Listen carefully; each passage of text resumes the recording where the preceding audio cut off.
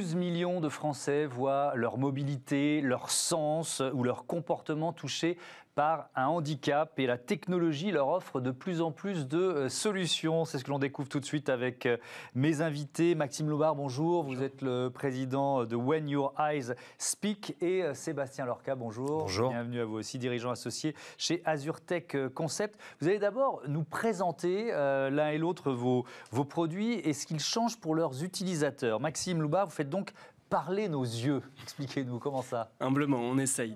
Donc, euh, lorsqu'une personne est totalement paralysée, qu'elle mhm. ne peut plus communiquer, qu'elle est atteinte par une maladie euh, neurodégénérative et qu'elle n'a plus que les yeux qui bougent, eh bien, cette personne-là ne peut plus véritablement communiquer. Il y a beaucoup de choses qui passent par les yeux, évidemment, mhm. euh, lorsqu'on connaît la personne, mais c'est toujours compliqué. C'est ce qu'on appelle notamment le locked-in syndrome Par exemple, c'est l'une de ces maladies. La maladie de Charcot, également connue, Stephen mhm. Hawking, le fameux physicien, en était atteint.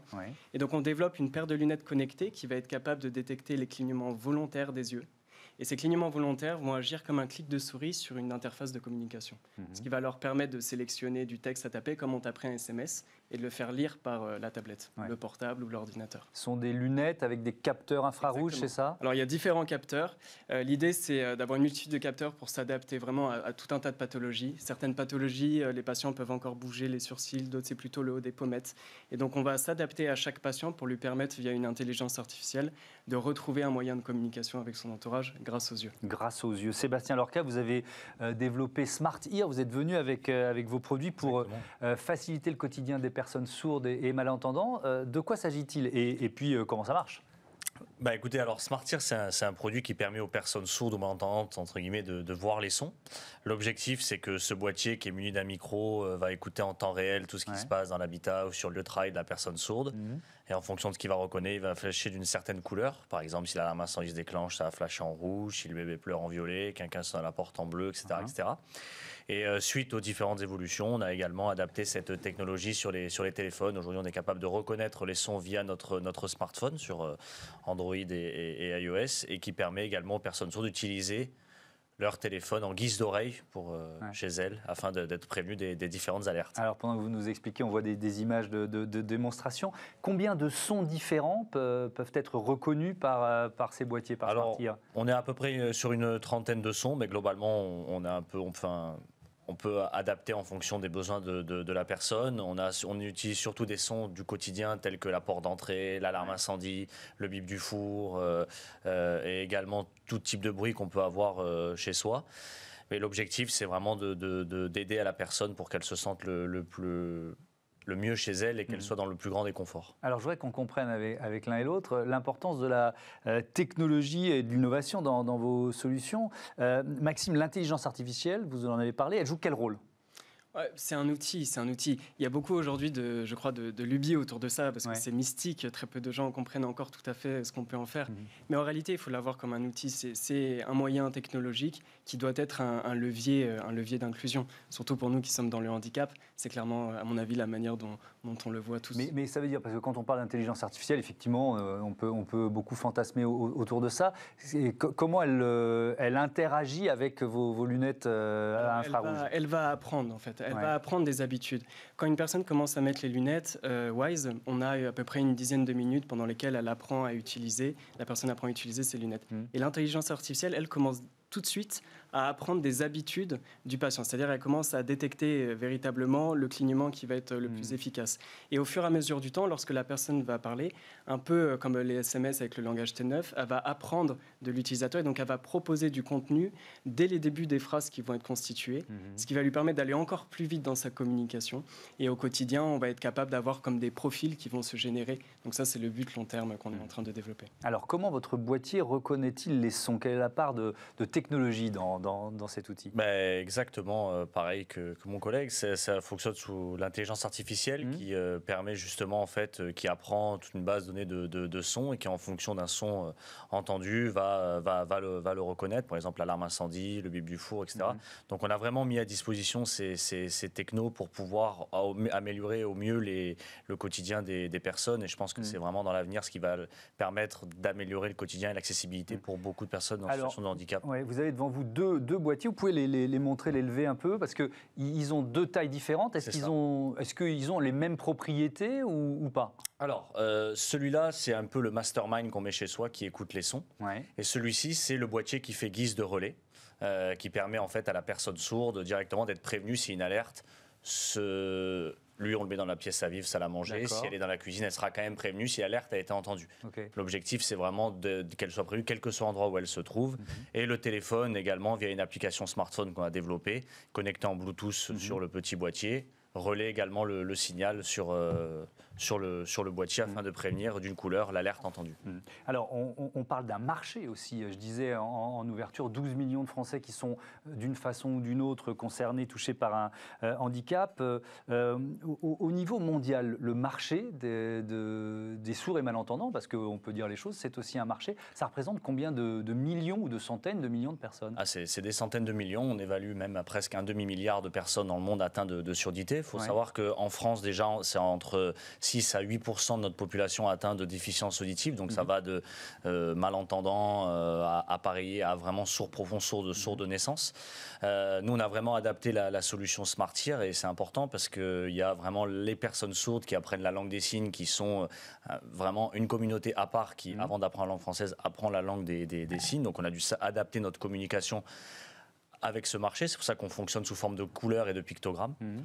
Euh, et également les personnes aussi euh, âgées qu'on équipe mhm. pour, pour pouvoir euh, faire gagner d'autonomie chez, chez, chez, elles. Mais ça représente une, un fort fort euh, pourcentage de la population. Et malheureusement, euh, avec toutes les contraintes qu'on peut avoir, les écouteurs dans les oreilles, les boîtes de nuit, tout ça, enfin en ce moment un peu moins, mais, mais, euh, mais c'est vrai que ça, ça, ça, ça, a un impact. Vous voulez dire que c'est plutôt un marché en, en, croissance, D'accord. On peut le regretter, mais bon, c'est aussi du, du, business, on ne va pas se cacher derrière notre, notre petit doigt. Et ce qui m'intéresse, c'est, vous, vous parlez de, de projection vers l'avenir, c'est justement de se projeter vers, l'avenir. Est-ce que vous êtes déjà en train de, travailler, d'imaginer ce que, euh, ce que vous pourriez euh, euh, proposer, Maxime Loubar, à, voilà, soit aux, personnes qui souffrent de, euh, de, cet enfermement euh, ou de cette incapacité à, communiquer par la voix, soit pour d'autres formes de handicap. Alors oui, on le fait et, même certains le font pour nous.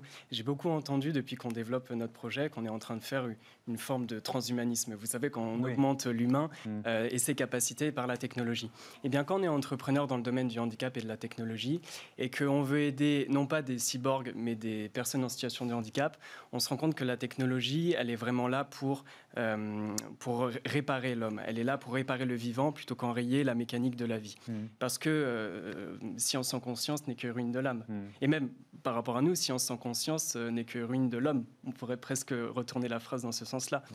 Et donc si transhumanisme il y a, alors il doit être altruiste, il doit être réparateur, ça doit être un transhumanisme inclusif en quelque sorte. Et donc les projets que Wise et que j'imagine tout un tas d'autres startups comme celle de Sébastien développent au quotidien, sont plutôt des projets qui veulent utiliser la technologie euh, non pas comme une, pelle qui viendrait creuser davantage le fossé des inégalités, mmh. mais plutôt comme un levier, euh, un levier d'inclusion euh, technologique. Et donc, on, a des idées de développer effectivement un premier produit, les lunettes, mais après, on a déjà identifié tout un tas d'autres produits, mais qui vont arriver au fur et à mesure du temps, au fur et à mesure de l'évolution et selon les opportunités. Oui, alors sans peut-être rentrer dans le détail des, des, produits, mais pour quel type de handicap, par exemple? Alors, bah, pour nous, c'est vraiment la communication. Euh, Wise, on s'est spécialisé dans ça parce mm. que la communication, c'est à la base de notre appartenance dans le monde. Mm. Sans communication, on peut plus, on n'interagit plus avec le monde. Mm. Et donc, c'est vraiment la base.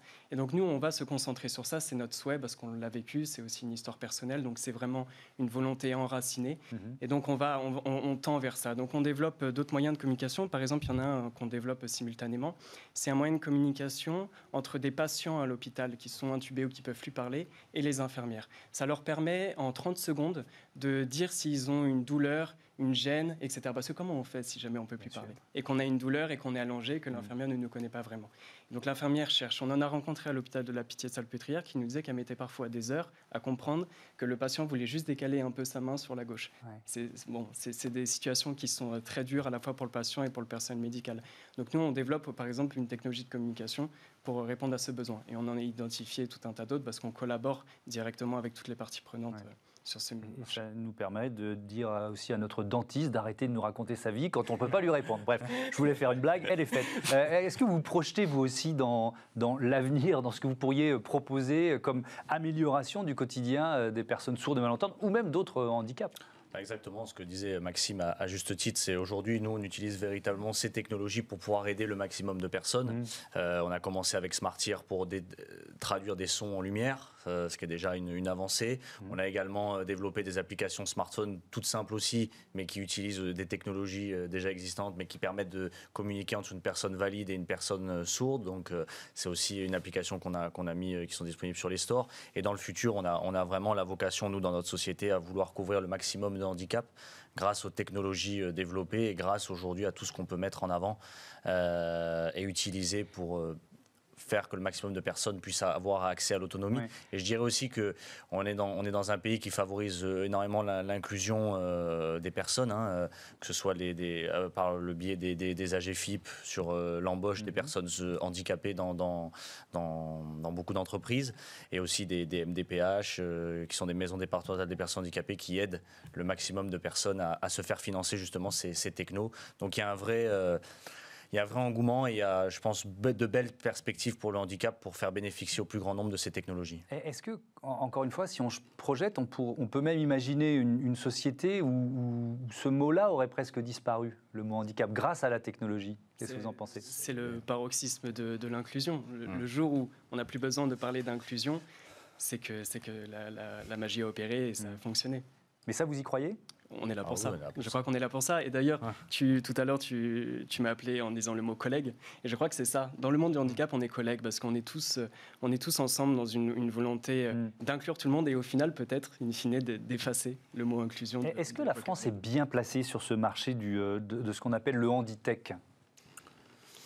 Ça commence. Ça commence. Euh, ça commence. Elle est sensible. Rien qu'à voir au CES Las Vegas que qu'on a pu faire deux, deux fois il y a d'énormément de, technologies aujourd'hui sont tournées vers le handicap et l'inclusion. Mhm. Euh, de plus en plus, les, technologies, même sur les smartphones, essayent d'apporter une accessibilité. Alors, à leur, euh, à leur manière, mais c'est quand même, on voit qu'il y a un vrai, euh, vrai engouement par rapport à ça.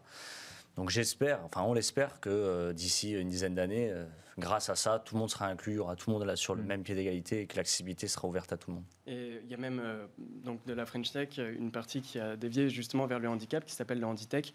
C'est une association qui justement regroupe un peu toutes les parties prenantes. Je ne sais pas si tu en fais encore euh, non, bon, prochainement peut-être. et, euh, et, donc c'est une association qui justement met en avant et essaye de créer des synergies entre les, organismes étatiques, entre les associations, mm. entre les patients, entre les hôpitaux, etc. Donc il y, y, a, des choses qui sont en train de se créer en ce sens. Oui, mais c'est important ce que vous dites parce que euh, je lisais que ce secteur de, du, du handitech en France, il, est encore trop segmenté. C'est-à-dire que, si je comprends bien, euh, chaque acteur euh, essaye de progresser un peu dans, dans, son coin. Qu'est-ce que, d'après vous, il lui manque au secteur du handitech pour se développer un peu plus vite? Je crois que c'est d'abord une, sensibilisation générale à l'échelle du pays, même en fait transnationale, puisque mmh. la maladie, le handicap n'a pas de frontières. Mais euh, je crois que c'est vraiment une, peut-être une volonté aussi politique de, mettre encore plus de moyens sur cela, une, volonté de, ne plus euh, euh, marginaliser les personnes, une volonté de les réinclure dans, l'emploi, par exemple. Mhm. Il y a beaucoup de personnes, je crois que le chômage touche deux fois plus de personnes en situation de handicap que de personnes sans handicap. Donc ça passera par, par tous ces biais-là. Nous, on est sur la partie technologie, mais il faut effectivement qu'il y ait d'autres acteurs qui se réunissent. Mhm. Exactement.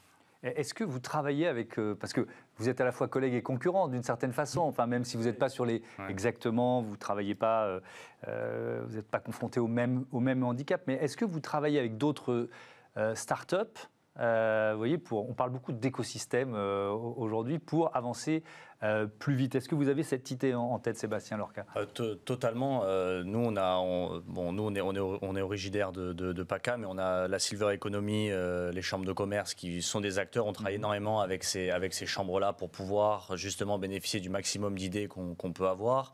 on échange beaucoup avec, certains, avec certaines autres entreprises qui développent des produits à destination des personnes handicapées, histoire de déjà de ressentir. Ben, les produits, on les fait pour des personnes, on ne les fait pas pour nous, on les fait avant tout pour qu'elles se sentent bien avec. Donc c'est très important d'avoir ce retour de tous les collègues. Euh, je dis collègues parce que c'est vrai qu'on est pour nous est dans le même, euh, on est dans le même, euh, dans le même bateau. On fait des produits pour aider des gens. et par conséquent, cet impact social, il est important de le faire ressentir auprès de toute la communauté et de tous les acteurs du handicap, parce que je pense que c'est que ensemble qu'on arrivera véritablement à ce qu'on disait tout à l'heure, arriver à une inclusion globale. Mhm parce qu'aujourd'hui, euh, je pense qu'il y a beaucoup de choses encore à faire. Euh, on n'est qu'au début d'une vraiment une ère technologique qui va pouvoir aider le maximum de personnes et on veut être présent pour pouvoir aider, le, pouvoir aider ces gens-là et ça passe justement par l'entraide et tous ces acteurs des Silver Economy, Handitech, mhm. French Tech aussi, puisqu'il y a beaucoup de technos qui ne sont pas au départ utilisés pour l'handicap, mais qui après euh, peuvent être utilisés pour. Donc nous, on, on y croit vraiment et je pense qu'il n'y a que comme ça qu'on arrivera véritablement à... La solution, et on va terminer là-dessus, euh, vous l'avez un peu évoqué tout à l'heure, euh, quand on parle de log augmenté, euh, c'est vrai que c'est une, expression qu'on peut, qu'on peut trouver pas, pas, très, pas très agréable comme, comme projection dans l'avenir, mais ça veut dire quoi? Ça veut dire que les solutions, elles passent forcément par la robotique, par l'intelligence artificielle pour vous? Alors non, les, solutions euh, technologiques passeront par là. je parlais tout à l'heure de transhumanisme inclusif. Euh, il y a une partie qui va aller par là, mais il y a aussi une partie de sensibilisation, il y a aussi une partie euh, d'accueil dans la société. Donc on parlait de l'emploi. Je, je, crois que c'est multidimensionnel. Et nous, on n'est qu'une partie, on ne représente qu'une partie de cette, de cette action d'inclusion à l'échelle internationale. Euh, et donc, on, on, essaye, parce que c'est ce qu'on sait faire aujourd'hui. Donc nous, on va sur notre cœur de compétences et on agit ici. Mais il faut absolument d'autres personnes et qui font un travail formidable, ne serait-ce que des associations, qui font un travail de sensibilisation formidable et qui justement nous aident aussi à préparer un peu le, terrain pour amener derrière quelques solutions. Mais il y a d'autres solutions qui ne sont pas technologiques. Mais c'est vrai que les solutions technologiques pour pallier des, certains handicaps sont quand même... Euh, bon, celles qui, qui sont nécessaires. On est, elles sont malheureusement, on est obligé d'en passer Mais euh, voilà, pas forcément pour augmenter l'homme. D'abord le réparer. Merci beaucoup. Merci à tous les deux d'avoir participé à ce, à ce débat. À bientôt sur, euh, sur Bismart. Allez, tout de suite, on, on décrypte le marché du télétravail.